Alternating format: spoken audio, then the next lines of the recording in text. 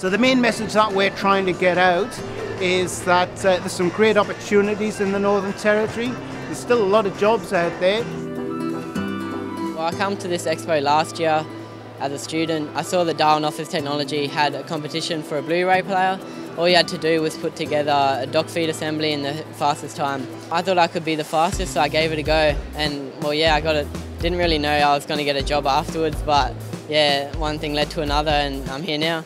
The best part of the, the expo is the jobs board, I think. It's because you can you can go there, you can go at your own pace, you can read up on everything. There's no hassle, and um, you can you can walk away with one or ten different um, you know career options.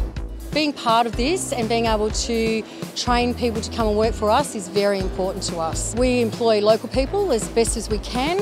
We train people when we get them on board, so we will take people with very basic skills and we will also take people who are quite experienced. This year we've been in Alice Springs and Katherine and here in Darwin. It's a good way for us to, to tap into a really rich um, sort of stream of people who have got an interest in engineering.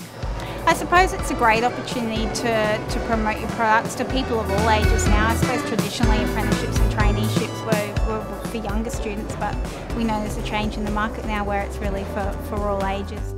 We've had um, adults from all different backgrounds who are considering moving into an engineering career. We've had a lot of engineers who are looking for new opportunities. We're keen to get involved, keen to get local people involved in, into the industry and uh, we're going to really step it up and show what the industry's got to offer. It's a great way to get exposure for your business and also market the services that we have here in Darwin.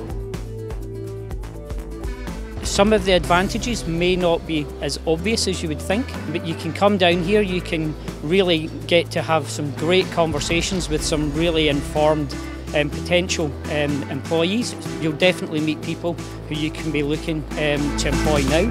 I really enjoyed uh, the try-a-skill activities. I'm the sort of person that really likes to get hands-on and I'm not good at learn, like sitting down and listening. I'd rather get on and actually try something before I commit to it. It's a good opportunity for people to come in and just see what it's all about and find out information and anything like that's going to help them make decisions. So I think it's a good idea.